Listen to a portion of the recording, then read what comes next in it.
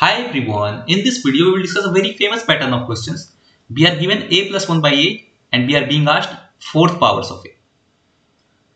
Now you could be asked a square plus 1 by a square.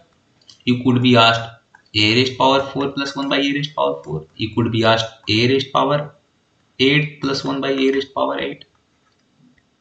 Or you could be asked a raised power 6 plus 1 by a raised power 6. Even you could be asked a cube plus 1 by a so these all are very famous patterns of such questions where you are being given a plus 1 by a and you are being asked all such things, right? So let us see how we can reach to fourth power. Now think of this, how can we reach fourth powers of a? Let's say if I square, right, then I will reach a square. Now if I again square, then I can reach, right? So I will need two iterations of squaring so that would be our strategy here. A plus 1 by A equal to 6. Okay. And what I will do is I will square both sides. So A plus 1 by A whole square equal to 6 square.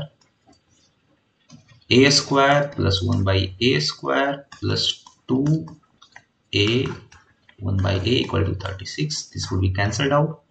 So from here I will get a square plus 1 by a square equal to 34 right?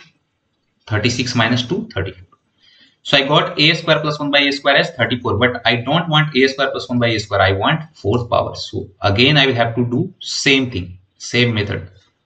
A square plus 1 by a square is 34 square both sides. So if i square both sides so I will get a raised power 4 plus 1 by a raised power 4 plus 2 a square 1 by a square. Now 34 square that would be 1156. So will cancel out. So from here I will get a raised power 4 plus 1 by a raised power 4. 1156 minus 2 equal to 1154. 1154. Do we have an option of 1154? Yes b2 have right? B2 have 1154 so this is the answer. 1154 option a. Okay. Now if you know any better method then obviously you can put it in comment section.